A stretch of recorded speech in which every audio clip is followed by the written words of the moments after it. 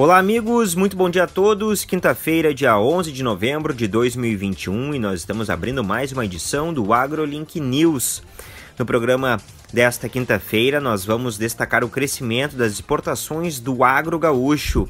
Vamos também falar sobre a atuação da empresa de pesquisa agropecuária e extensão rural de Santa Catarina, que está completando 30 anos de serviços prestados ao produtor rural. No Mato Grosso do Sul, a ministra Tereza Cristina reforçou as ações no Fórum Norte Forte MS, que busca potencializar as atividades agrícolas na região. Além disso, vamos atualizar a previsão do tempo e também os indicadores econômicos. Acessando o nosso portal AgroLink, você vai saber que as exportações de arroz devem superar a marca de 1 milhão de toneladas. Na cana, a moagem já é superior a 500 milhões de toneladas, porém, os números estão abaixo do esperado. No café, o Arábica começou novembro com recorde nominal. O grão iniciou o mês com a saca sendo negociada a mais de R$ 1.200. Estes e outros destaques estão todos lá em agrolink.com.br e nós abrimos o programa de hoje destacando a participação da ministra da Agricultura, Tereza Cristina, no Fórum de Desenvolvimento Norte Forte MS. Ao lado de várias lideranças do agronegócio, a ministra reforçou que o movimento busca potencializar o desenvolvimento da região norte no Mato Grosso do Sul. Tereza Cristina explicou que a ideia é investir em políticas voltadas ao turismo, comércio, políticas regionais, educação e agronegócio. Essa região é a bola da vez. Nós temos lá a região lá, Maracaju, Cidrolândia, Dourados. Começamos lá pela região sul, sudeste e agora chegou esse desenvolvimento. Já acontecia aqui, mas de maneira um pouco pontual. Agora a gente tem visto aí que de Jaraguari para cá né? A agricultura entrou e com certeza vai fazer a diferença na região, trazendo renda, trazendo aí mais empregos e desenvolvimento, que é o que qualquer governante quer. Então a região norte deixa de ser uma região pobre para ser uma região de desenvolvimento, de atração de investimentos e também de empregos para a nossa população. Ainda durante evento realizado nesta semana no Sindicato Rural de Coxim, Tereza Cristina também disse que o Brasil precisa repensar a relação de emprego no setor rural. Eu fui a Santa Catarina, fui ao Mato Grosso agora, a Sorriso, fui ao Rio Grande do Sul e eu ouço a mesma queixa.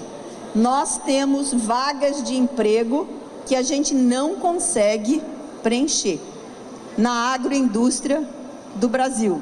Falta mão de obra. E a gente vê lá no CAGED que nós temos um déficit enorme de empregos no Brasil. Eu não estou dizendo que, que, tem, é, que, que tem, não tem desemprego. Tem sim, mas talvez o desemprego, o emprego está no lugar onde não estão as pessoas. Então, é isso que nós temos que começar também a trabalhar. Esta ministra Tereza Cristina falando sobre o agro e as alternativas para fortalecer ainda mais as ações no estado do Mato Grosso do Sul. Agora, vamos falar sobre as exportações do agronegócio no Rio Grande do Sul, que chegaram a quase 5 bilhões de reais no terceiro trimestre deste ano, registrando aí uma alta de 59% na comparação com o mesmo período do ano passado. Em termos nominais, sem considerar a inflação, o valor exportado no período foi o maior de toda a série histórica iniciada lá em 1997. Entre os setores mais representativos do agronegócio no Rio Grande do Sul, o complexo soja registrou vendas de quase 3 bilhões de dólares no período. Foi o que destacou o analista do Departamento de Economia e Estatística do governo gaúcho, Sérgio Leucin Júnior. Os principais setores exportadores foram o complexo soja, as carnes, os produtos florestais e o fumo. O resultado positivo do trimestre foi determinado pelo crescimento das exportações do complexo soja, dos produtos florestais e das carnes. Contrariando a tendência de crescimento no trimestre, o setor de fumo apresentou maior queda absoluta, concentrada sobretudo no fumo não manufaturado. No caso do complexo soja, o crescimento é explicado pela elevação das vendas externas do grão, do farelo e também do óleo de soja. Em 2021, a safra colhida no Rio Grande do Sul foi recorde, somando mais de 20 milhões de toneladas. Para o setor dos produtos florestais, o desempenho se deve à elevação das exportações de celulose. Já o desempenho do setor das carnes é explicado pela elevação das vendas externas de carne de frango, e em menor medida da carne suína. reforçando que no complexo soja a alta no trimestre é explicada pelas vendas do grão, farelo e também do óleo de soja. Nós vamos adiante, virando a pauta dentro do programa para sabermos como fica o tempo para esta quinta-feira, a previsão completa com ele, Gabriel Luan Rodrigues. Muito bom dia. Olá, Lucas. Muito bom dia. Bom dia para quem está no campo, para quem está na cidade. Bom, aquele sistema de baixa pressão surpreendeu ontem no Mato Grosso, no município de Nova Canaã do Norte, ao norte do estado, um dos pluviômetros do Centro Nacional de Monitoramento e Alertas de Desastres Naturais registrou o acumulado de 159 milímetros no decorrer das 24 horas. E para esta quinta-feira, o sistema de baixa pressão continuará atuando no estado, promovendo condições novamente para chuvas volumosas. A tendência é de que essas chuvas fiquem um pouco mais deslocadas a oeste do estado, atingindo também a metade leste de Rondônia e sul do Amazonas. A média das projeções estão indicando chuvas acima dos 70 milímetros na grande região de Juara, mas vale ressaltar que na projeção americana e a brasileira do INPE sinalizam para chuvas acima dos 150 milímetros. E as instabilidades se estendem até o sudeste devido à atuação de um cavado, que é uma região alongada de baixa pressão, que em conjunto com o calor e umidade formam as nuvens carregadas, o que poderá ocasionar tempestades no sul do Goiás, noroeste do Mato Grosso do Sul Triângulo e Centro de Minas Gerais e sobre o norte e oeste do estado de São Paulo. Inclusive, as chuvas abrangem melhor o estado paulista, assim como no Paraná, que podemos esperar aquelas pancadas de verão que ocorrem preferencialmente no período da tarde, de forma isolada, muitas vezes na forma de temporais, mas que não resultam em acumulados expressivos no final do dia. O tempo segue firme em grande parte do Nordeste, Roraima e na metade sul do Rio Grande do Sul. Podemos até ter algumas instabilidades pontuais no norte gaúcho, e essa condição de instabilidades tem mais chances de ocorrer sobre o Maranhão, Piauí, sul do Ceará e oeste da Bahia.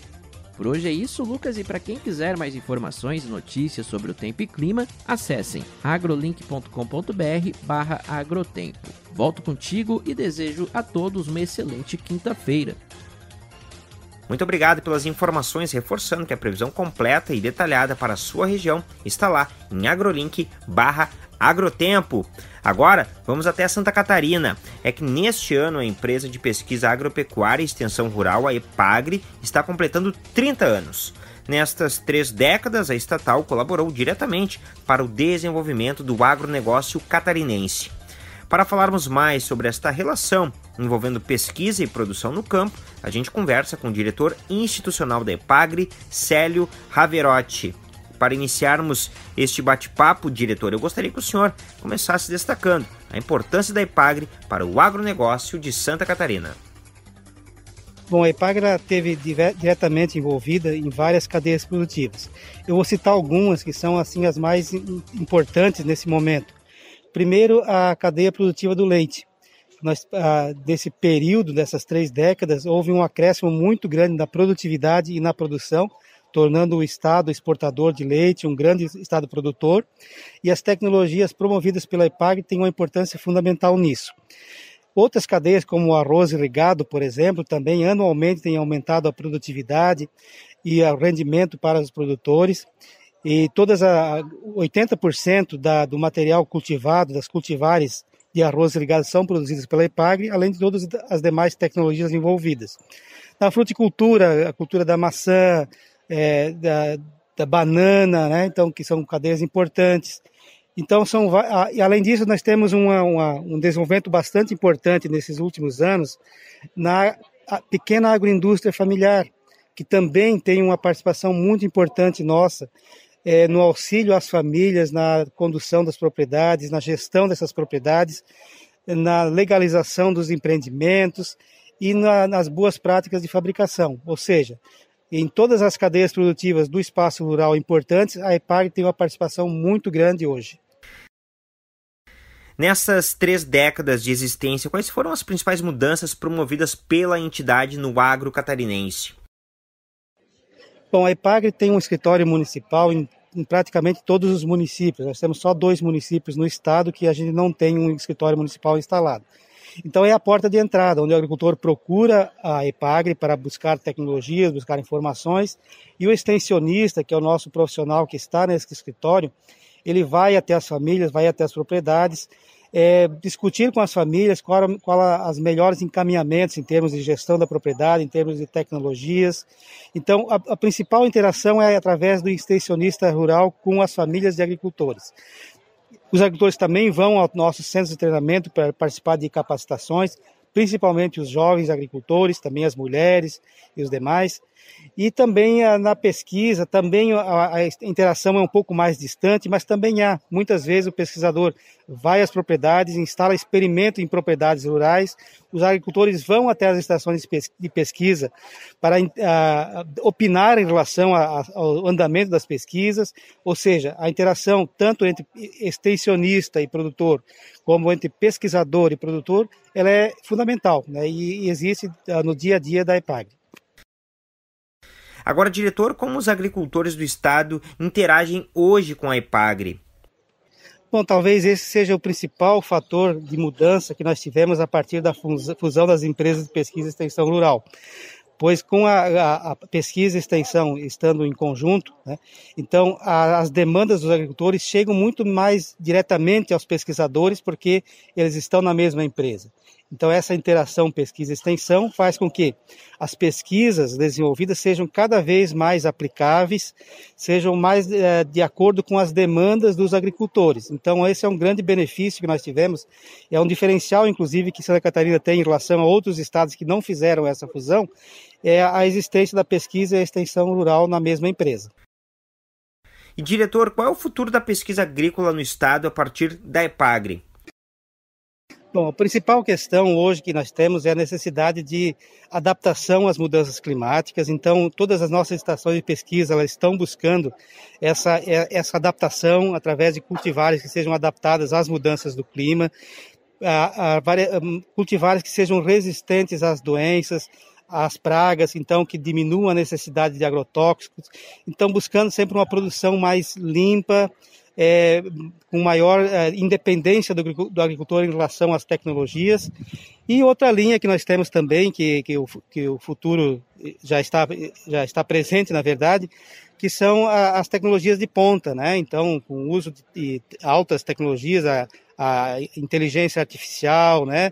É, drone, uso de drones e outros equipamentos aí que possam ser utilizados na agricultura. Então, vários dos nossos centros já estão trabalhando nisso eu diria que a gente tem um futuro muito grande e cada vez mais necessário, né? A, a, a presença da pesquisa e da extensão rural pública é, para desenvolvimento da nossa agropecuária.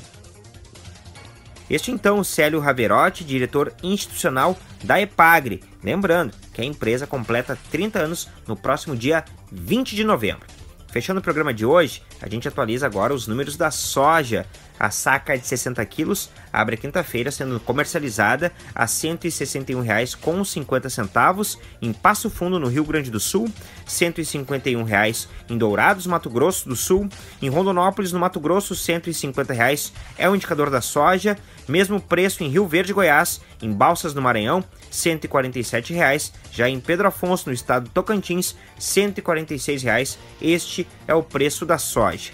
Com estas atualizações, o AgroLink News vai ficando por aqui. Uma ótima quinta-feira a todos e até amanhã.